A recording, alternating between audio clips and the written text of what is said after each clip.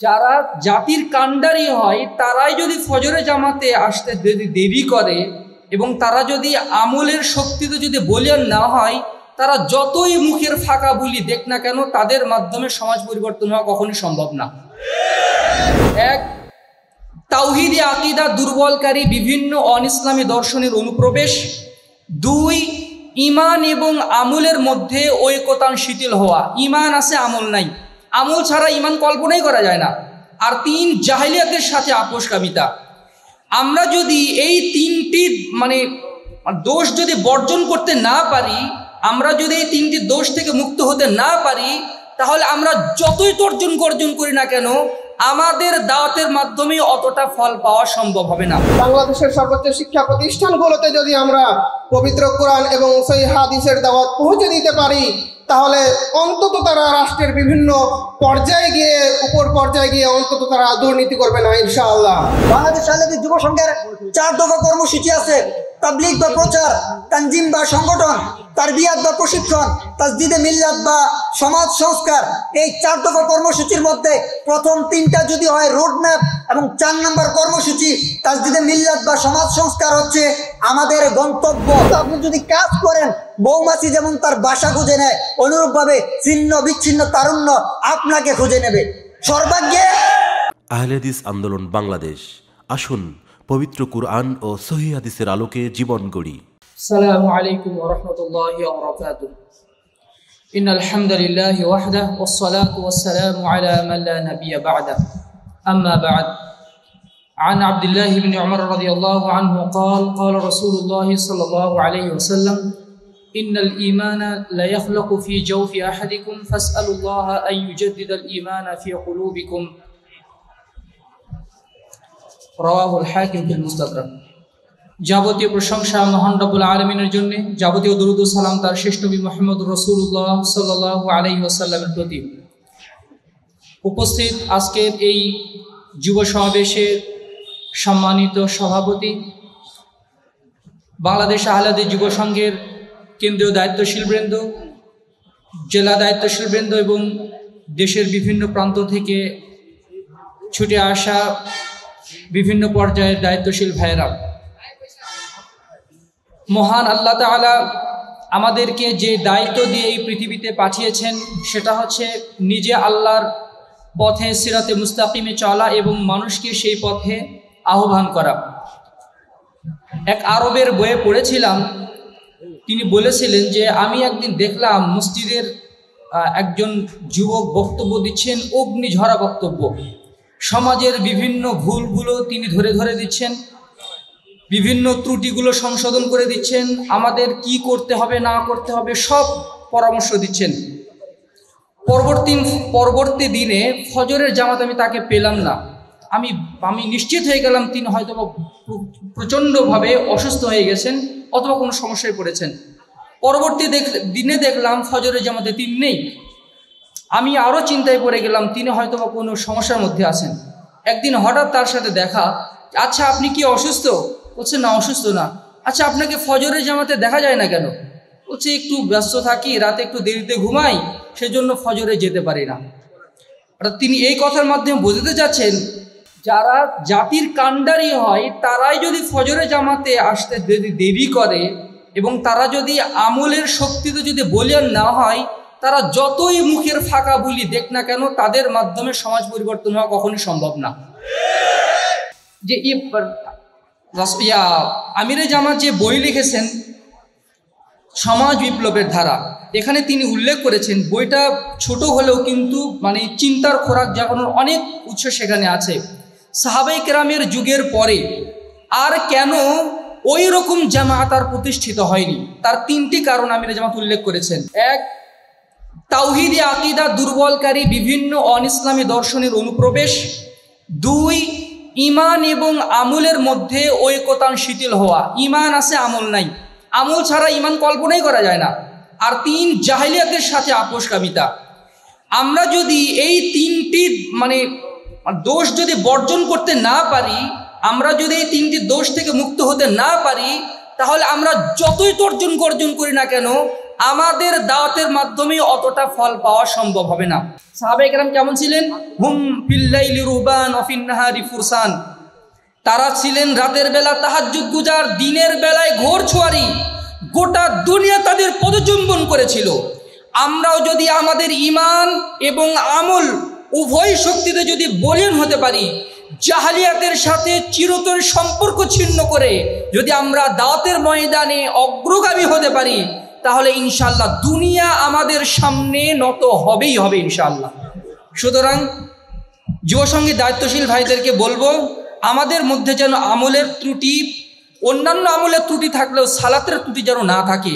ফজরের জামাতে যদি আমি অনুপস্থিত থাকি, ফজরের জামাতে যদি আমি যেতে অলসতা করি, তাহলে আর যাই হোক, সমাজ সংস্কারের এই দায়িত্ব আমার মাধ্যমে হওয়ার জন্য আমি ডিসকোয়ালিফাইড সুতরাং আসুন, আমরা আমাদের আমল এবং ইমান সংশোধন করি। রসুল সাল্লাহ আলিয়াল্লাম বলছেন, ইন্নাল ইমান জৌফি আহদিকুম। কামা ইয়াখলাকু সৌবুল খালিক, নিশ্চয়ই ইমান তোমাদের দেহাভ্যন্তরে জীর্ণ শীর্ণ হয়ে যায়। যেমন একটা সাদা মানে কাপড় পরে যদি আপনি সারা দিন গোটা দেশে ঘোরাফেরা করেন, দিন শেষে দেখবেন এই কাপড়টা ময়লা হয়ে গেছে। পরের দিন পরার উপযুক্ত থাকে না। এটা আবার ধুয়ে, লন্ড্রি করে তারপরে পরার উপযোগী হয়। অনুরূপভাবে ইমানটাও ওইভাবে জীর্ণ শীর্ণ হয়ে যায়। ফাস আলুল্লাহ ইউজাদ্দিদাল ইমান আফি কুলুবিকুম। সুতরাং তোমরা আল্লাহর কাছে কায়মন বাক্যে প্রার্থনা করো, তিনি যেন তোমাদের হৃদয়টা ইমানটা সবসময় পরিষ্কার রাখেন, নবায়ন করে রাখেন। সুতরাং আমাদের আমল, দোয়া এবং কর প্রচেষ্টার মাধ্যমে আল্লাহ আমাদের ইমানকে সবসময় তাজা রাখার তৌফিক দান করুন। এই তাজা ইমানকে পাথেয় করে আল্লাহ যেন আমাদের মাধ্যমে সমাজ সংস্কারের এই কাজটি করিয়ে নেন। পরিশেষে আল্লাহ তালা আমাদেরকে যেন জান্নাতুল ফেরদাউসের অধিকারী হওয়ার তৌফিক দান করেন। আল্লাহ আমিন। আসসালামু আলাইকুম রহমতুল্লাহ আসসালামু আলাইকুম আলহামদুলিল্লাহ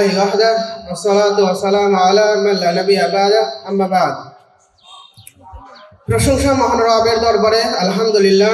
দুরুদ ও সালাম বর্ষিত মানবতার মুক্তির দূত যেই মহামানবের আদর্শগুলোকে আমরা জীবনে বাস্তবায়ন করতে পারলে ইহকালের শান্তি ও পরকালে মুক্তি পাবো ইনশাআল্লাহ। সেই মহামানবের প্রতি দুরুদ সালাম বর্ষিত হোক সাল্লাল্লাহু আলাইহি ওয়াসাল্লাম। উপস্থিত সম্মানিত সভাপতি, কেন্দ্রীয় দায়িত্ববৃন্দ এবং সুধী মণ্ডলী, সকলকে বাংলাদেশ আহলাদিস যুব সংঘ রাজশাহী বিশ্ববিদ্যালয় শাখার পক্ষ থেকে আন্তরিক শুভেচ্ছা ও অভিনন্দন।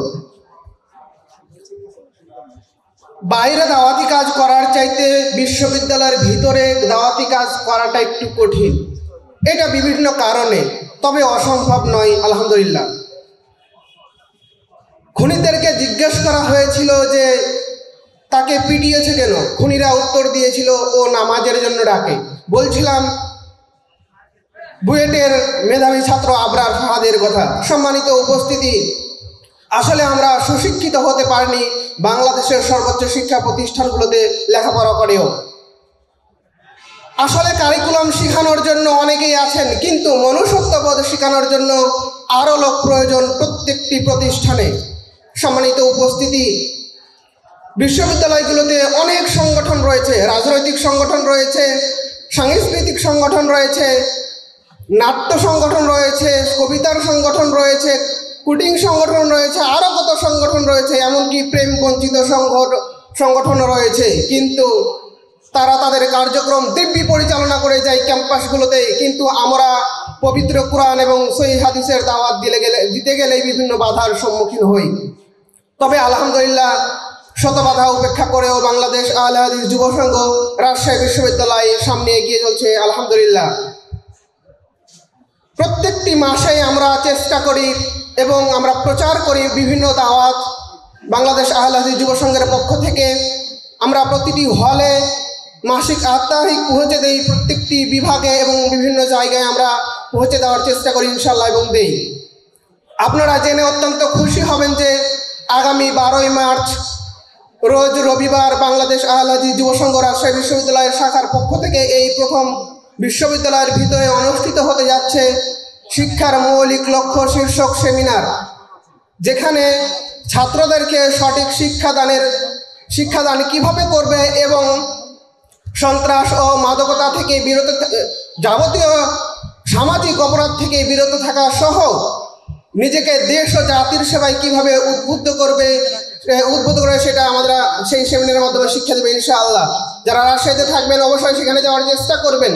সম্মানিত উপস্থিতি, বাংলাদেশের সর্বোচ্চ শিক্ষা প্রতিষ্ঠানগুলোতে যদি আমরা পবিত্র কোরআন এবং সেই হাদিসের দাওয়াত পৌঁছে দিতে পারি, তাহলে অন্তত তারা রাষ্ট্রের বিভিন্ন পর্যায়ে গিয়ে, উপর পর্যায়ে গিয়ে অন্তত তারা দুর্নীতি করবে না, ইনশাআল্লাহ। এ কারণে আমরা চেষ্টা করব প্রত্যেকেই বাংলাদেশের যে উচ্চশিক্ষা প্রতিষ্ঠানগুলো রয়েছে উচ্চশিক্ষিত রয়েছে যারা, তারা এই পবিত্র কোরআন এবং সেই হাদিসের দাওয়াতে এগিয়ে আসব। আসলে আমরা করি যে আসলে আমরা ইসলামকে শুধু মসজিদ এবং সিয়ামের ক্ষেত্রে পালন করব। আমাদের ব্যক্তিগত কোনো কারণ, কাজে আমরা পালন করব না। দেখুন দ্য কোরআন ইন লাইফ গ্রন্থকার বলেছিলেন যে all individual, social, political, financial and other problems with relating with human being human welfare and nature have been completely discussed in the Quran সম্মানিত উপস্থিতি, অতএব যুবক ভাইদের প্রতি অনুরোধ থাকবে, আমরা সকলে যাতে এই দাওয়াতি কাজে এগিয়ে আসতে পারি। আল্লাহ তালা আমাদের সেই তফিক দান করুন। আল্লাহ আমিন। আসসালামু আলাইকুম রহমতুল্লাহ। আসসালামু আলাইকুম রহমতুল্লাহ। আলহামদুলিল্লাহ ওয়াহদা ওসলাত ওসালাম আলা মাল্লা নবিয়া বাদ আমা বাদ। ওহির বিধান প্রতিষ্ঠার দিক্ত বাসনা, ইসমাইল শহীদের বালাকোটের জিহাদি চেতনা, তিতুমিরের বাসের কেল্লা, নাজির হোসেন দেহলবির সংস্কারপন্থী রেনাসা, সুন্নাতের পক্ষে মাওলানা এনায়েত আলী, বেনায়েত আলীর আপসীন দৃঢ়তা মাওলানা আকরাম খার খুরদার লেখনী, সর্বোপরি আল্লামা আবদুল্লাহ কাফি আল কয়সি রহিমাউল্লাহর একটি পত্রের জবাব বইয়ে সাতান্নবার উল্লিখিত আহলাদিস আন্দোলনের স্বপ্নের স্বার্থী সংগঠন বাংলাদেশ আহলাদিস যুব সংঘ কর্তৃক আয়োজিত। আজকের এই যুব সমাবেশে আমার বক্তব্যের বিষয় যুব সংঘের চার দফা কর্মসূচি এবং আমাদের ইন্তেফাদা। প্রিয় দিনী ভাইরা, আজকে আমরা এমন একটা সময়ে অতিক্রান্ত করছি, যে সময় দেশের তরুণরা মাদক পর্নোগ্রাফি বিজাতীয় সংস্কৃতির আধারে ডুবে আছে। শুধু তাই নয়, দেশের সিংহভাগ জনগণের উপর, দেশের সিংহভাগ জনগণের টাকায় পরিচালিত শিক্ষা ব্যবস্থায় সিংহভাগ জনগণের ওপর এমন এক শিক্ষা ব্যবস্থা চাপিয়ে দেওয়া হয়েছে, যা সিংহভাগ জনগণের মূল্যবোধ বিরোধী।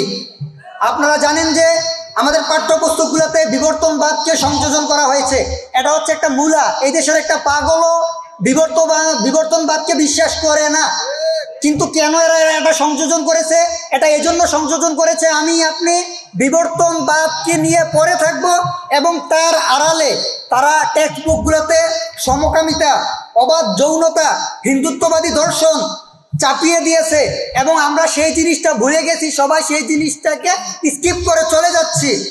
প্রিয় দিনী ভাইরা, অশ্লীলতা আর অবাধ যৌনতা মানুষের শারীরিক বাসনা, কামনা যখন ফ্যান্টাসিতে পরিণত হয়, তখন মানুষের মধ্যে আত্মনিয়ন্ত্রণ থাকে না।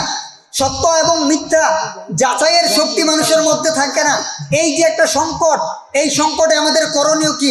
আল্লাহ রবুল্লাহ আলমিন বলছেন, আফা হাসিবতুম আন্নামা খলাকানাকুম আবাসা ওয়া আন্নাকুম ইলাইনা লা তুরজাউন। তোমরা কি মনে করছ তোমাদেরকে অনর্থক সৃষ্টি করা হয়েছে? অথচ তোমাদেরকে আমার কাছেই ফিরে যেতে হবে। আমাদের কাউকে তো অনর্থক সৃষ্টি করা হয় নাই। সুতরাং আমাদের কাজ কি?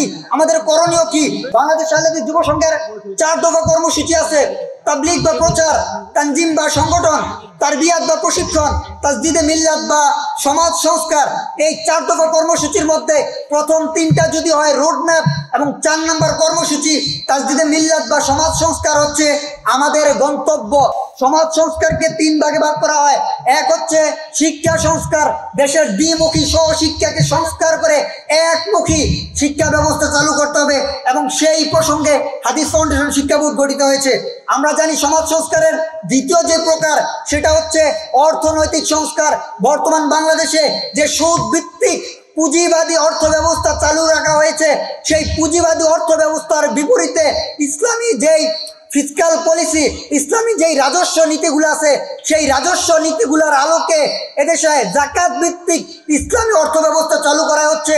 আমাদের অন্যতম অর্থনৈতিক সংস্কার সর্বশেষ সবচেয়ে গুরুত্বপূর্ণ যেই সমাজ সংস্কারের প্রকার, সেটা হচ্ছে নেতৃত্বের সংস্কার।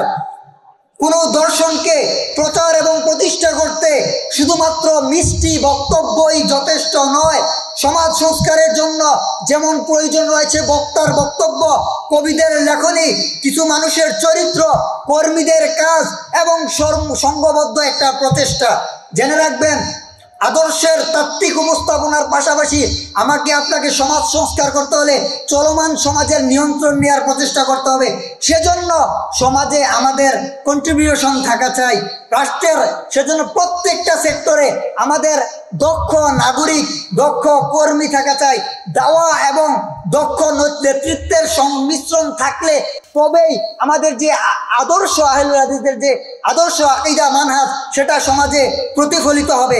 একটা কথা মনে রাখবেন, নেতৃত্ব যদি দক্ষ এবং দূরদর্শিত, দর্শী না হয়, তাহলে এই নেতৃত্বদেরকে কিছু টাকার বিনিময়ে বিভিন্ন প্রতিষ্ঠানগুলোতে কিছু টাকা দিয়ে জাতীয় সংসদের মতো জায়গাগুলোতে আমাকে আপনাকে বিক্রি করে দেবে। এমন ঘটনা কি ঘটে নাই?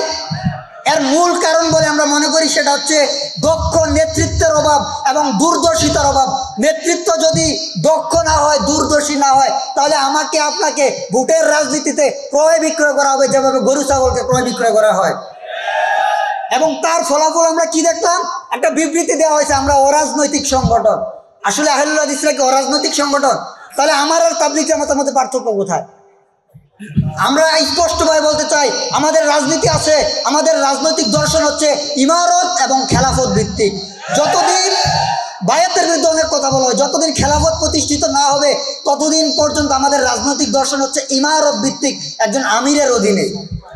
আমাদের রাজনৈতিক দর্শন হচ্ছে সৃষ্টিকর্তা আল্লাহর বিধান অনুযায়ী সৃষ্টিকে পরিচালনা করা। সর্বশেষ আপনাদেরকে বলতে চাই, নেতৃত্ব মানে সমাজের প্রতিষ্ঠিত শক্তিকে চ্যালেঞ্জ করা। আপনার উত্থান মানে বিজাতীয়দের নেতৃত্বের পতন ঘটবে। সুতরাং এই রাষ্ট্রের ফরেন পলিসি কি হবে? এই রাষ্ট্রের শিক্ষা ব্যবস্থায় কি থাকবে? কি থাকবে না? রাষ্ট্রের বাজেটে কি কি থাকবে? কি কি থাকবে না? প্রত্যেকটা জায়গায় আমাকে আপনাকে ভাবতে হবে, আমার আপনার ভূমিকা থাকা চাই। কেননা এই রাষ্ট্র আমার, আপনার, সবার ট্যাক্সের, সবার করের টাকায়, সবার ঘামের টাকায় পরিচালিত হয়। সুতরাং দেশের যুব সমাজের প্রতি আমাদের আহ্বান হচ্ছে, হে তারুণ্য, বিক্ষিপ্ত পতঙ্গের মতো না ঘুরে ঘুরে, এসো সাম্রাজ্য করি এসো কাফেলাবদ্ধ হই। সর্বশেষ আমার কর্মী ভাইদের প্রতি আমাদের কর্মী ভাইদের প্রতি অনুরোধ থাকবে, আমরা কাজ করি, বিদায় আমরা কর্মী, অন্যথায় আমরা কর্মী না। আপনি যদি কাজ না করেন, তাহলে সংগঠনকে প্রচার করার জন্য প্রতিদিন ফতোয়া দিতে হবে। সংগঠন কেন করবেন? সংগঠনের গুরুত্ব, প্রয়োজনীয়তা প্রতিদিন বুঝাতে হবে। কিন্তু আপনি যদি কাজ করেন মৌমাছি যেমন তার বাসা খুঁজে নেয়, অনুরূপভাবে ছিন্ন, বিচ্ছিন্ন, তারুণ্য আপনাকে খুঁজে নেবে। সর্বাগ্যে সর্বাগ্যে আপনাকে কাজ করতে হবে। আমি চট্টগ্রাম বিশ্ববিদ্যালয়ের কথাই বলি। এক সময় সেখানে কিছুই ছিল না। আরে লাদিস কে কে কাকে চিনে? যখন আলহামদুলিল্লাহ দাওয়াতি কাজ শুরু করেছি, একটা ফ্রেমওয়ার্ক হয়েছে এবং প্রতিনিয়ত আমরা সাপ্তাহিক এবং মাসিক প্রোগ্রামগুলোকে কন্টিনিউ করি। তখন বিভিন্ন এলাকা থেকে আহলাদিস যে ছাত্ররা আহলাদিস ঘরের সন্তান, এরা বিশ্ববিদ্যালয়ে পড়ে, কিন্তু তাদের কোনো প্ল্যাটফর্ম নাই গাইডলাইন দেওয়ার মতো কেউ নাই। তখন এরাই দলে দলে আমাদের প্ল্যাটফর্মে সমবেত হওয়া শুরু করল।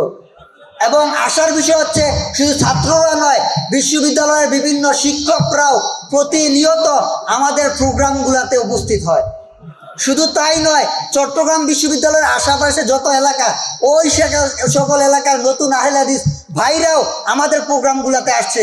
সুতরাং আপনাদের প্রতি একটাই অনুরোধ থাকবে, আপনি কাজ করুন, তাহলে কাজ করার মাধ্যমেই আপনি কর্মী হবেন। এই আহ্বান রেখে আমি আমার এলোমেলো বাড়ি ফিরে আছি সালামু আলাইকুম রহমতুল্লাহ।